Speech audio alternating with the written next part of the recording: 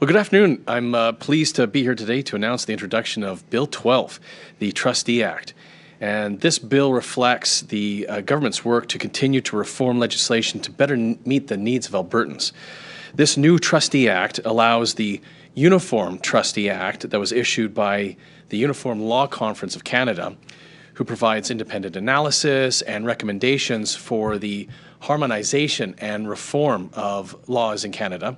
And the new act was recommended for adoption in Alberta by the Alberta Law Reform Institute.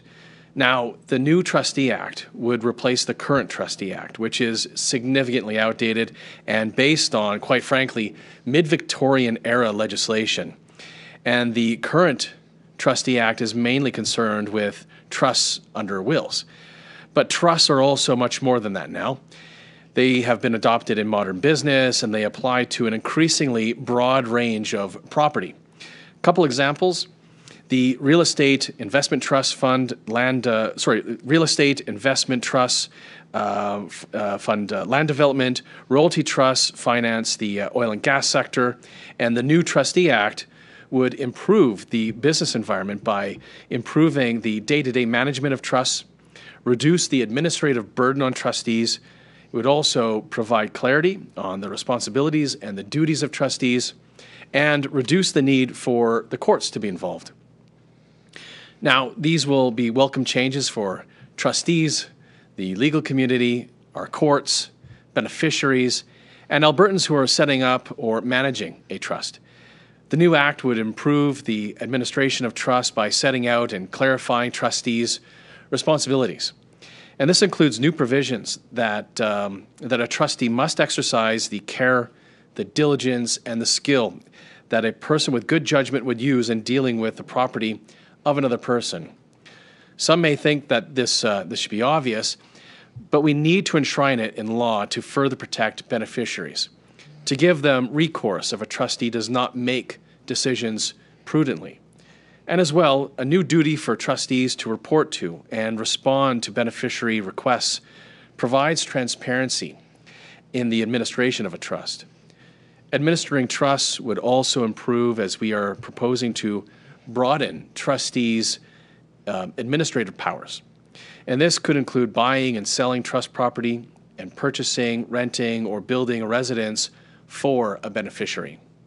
The new Trustee Act would also provide processes to allow for a temporary trustee when a trustee is temporarily absent or incapacitated, allow for the removal of an unfit trustee, and as well to allow a trustee to resign if needed. All of these changes will allow trusts to function properly without the need for costly court involvement. And ultimately, this would let trustees better serve beneficiaries and to better manage trusts. For the legal community, including lawyers and members of the Canadian Bar Association, the new act would make dealing with trusts simpler. It would result in fewer court interventions to address minor administrative issues. And for trust and estate organizations such as the Society of Trust and Estate Practitioners, or STEP, clarifying and setting out the responsibilities and the duties of trustees would help families to better plan for and set up their trusts. And for the courts, judges would benefit from a reduced caseload as fewer trust related applications would be brought to the courts.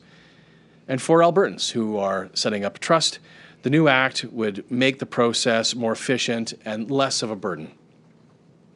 It would also be generally less expensive for Albertans to create a trust, and this is because the new Trustee Act would reduce the legal and other costs by lessening the, the complexity and the number of matters that have to be included in the trust document.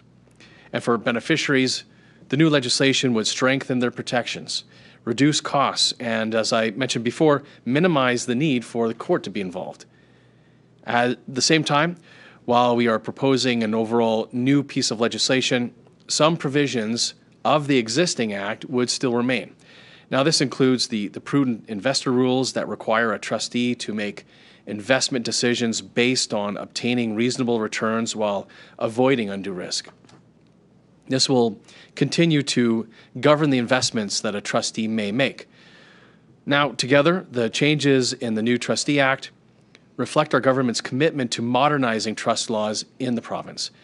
The scope of the commitment is clear and can be easily seen in the improvements being proposed in this new legislation, from clear responsibilities for trustees to improved administration, reducing the court being involved, and cost savings for Albertans. Bill 12 is a modern, more efficient way to manage trusts. So thank you very much, and I'm pleased to take any questions. Thank you very much, Minister. Uh, do we have any questions from the floor this afternoon? Seeing none, uh, yep, please come to the mic over here. If you just uh, let us know your uh, name and affiliate, please. Uh, Darcy Ropchan, City News Edmonton. I was wondering if you could just pro- uh, provide some reaction to the federal government's announcement today on their climate plans that they released today. I haven't had an opportunity to review what, what has been uh, proposed, so I can't comment on it, I, and I would defer to the Minister of Environment or Minister of Energy. Thank Thank you. Excellent. Uh, thank you so much for uh, joining us today, and uh, uh, everyone have a great afternoon. Thank you.